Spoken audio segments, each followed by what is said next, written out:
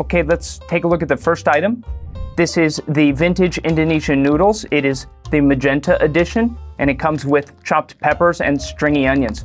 If I depackage the item, And that actually is how I got my left butt cheek slapped by Jennifer Love Hewitt. Ah, okay, it all makes sense now. The cucumber, the restraining order. Okay, square up. Two, three, two, and drop your guard. Take a real big shot on the chin. It is crucial that you get rocked real hard on the chin, and that's gonna prove to your ashamed parents and your unimpressed girlfriend that you're a real man. The point of those examples is that pretty much every type of content creator could use a good picture-in-picture effect. And not only is the one I'm gonna go over today the best one out there for Cut Pro, but it's also budget friendly and it is so, so easy to use. The plugin is called FCB's Picture-in-Picture Effect from Mr. Dylan Bates, the Final Cut Bro. You just apply it to the clip that you like from your effects browser. And look at this. Bing, bang, boom. Not only can you quickly adjust the size with the on-screen controls, but you can move it anywhere you want on your screen easily, and you can even fine-tune the position of that clip in your picture-in-picture. It's the simple things like this that make editing so much easier. And even though that alone makes the plugin worth it, the plugin also gives you tons of ways to customize it to fit your style and your brand. This first section lets you make it so your picture-in-picture animates in or out at whatever speed you'd like. So you can go from your main shot to having that main shot on another clip without ever having to set keyframes or anything. Section 2 is all about adjusting the shape to fit your style. So you can change it to a square, have more rounded corners, adjust the size of the inside shot, and extend video edges is cool because it mirrors your shot in the picture in picture, so you have a little extra room to zoom out of that inside shot. This also makes the in and out animation smoother looking, in my opinion, because you don't see the black bars as it's scaling from 100% size down to the size of the picture in picture. Just a heads up that if you zoom out too much though, the mirrored edges will be too visible. And all of the rest of these parameters are the same thing as the on-screen control sliders here. Section 3 and 4 are your borders. This is where you can customize the effect to fit your brand and style. Just click your color palette and select whatever color you'd like.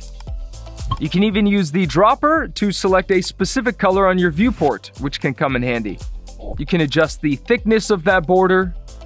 The offset is essentially the size of the border in a way. So for a different look, I could make this a little bigger than the shot and fade the inside a bit.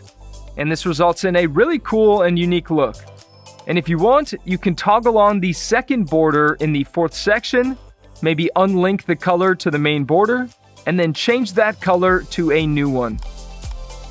I'll adjust the offset of this border, and now we have this cool tube-looking border effect around our shot. And of course, you can play with the fade parameters on this border as well to give you different options.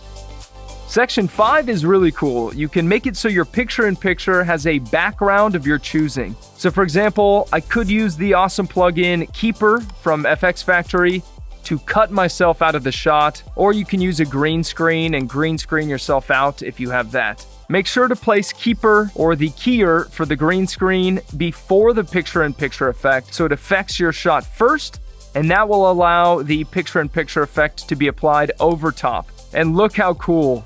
We can change the color of this background with some grain applied for texture.